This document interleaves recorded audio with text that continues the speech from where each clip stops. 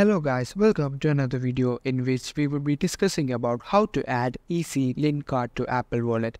As you all know, you can't add any external card other than debit, credit or transit card, drivers or state ID directly from the Apple Wallet itself.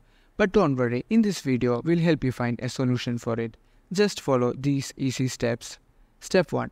Go to App Store and search for Card Manager. Install the app. After installing, open the app. You'll be able to see four menus named Give, Loyalty, Membership and All. Click on All and press Add Card. Select Store Card. Now search for EZ Link.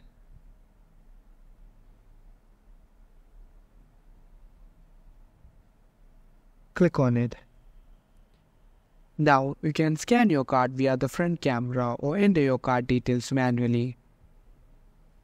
After doing this, click on Save. Once you have saved it, you will see a button to add it to Apple Wallet. Click on it and your card will be successfully added to your Apple Wallet.